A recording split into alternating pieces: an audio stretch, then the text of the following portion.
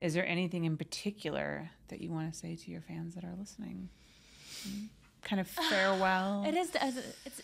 I just. I'm. I'm so thankful that anyone would want to watch me have on camera, like, and and to to buy my videos. I mean, that's incredible. You've completely changed my life. I might have a different life now. Like I, I before my trajectory was kind of whatever. I think mm-hmm. I would have been a receptionist, maybe at a, like a Toyota, Toyota dealership. I think that would have been my vibe. Um, but but now I, I I don't know. I've I've been able to actually follow my dreams. Dare I say? and mm-hmm. it's because of, it made my life better. Yeah. And so thank you to my fans who let me do that. That's crazy. Yeah. And yeah, thanks. Shit's different now. I've it's different. It's awesome. Do you do you feel different? Yeah. Yeah. Like more free?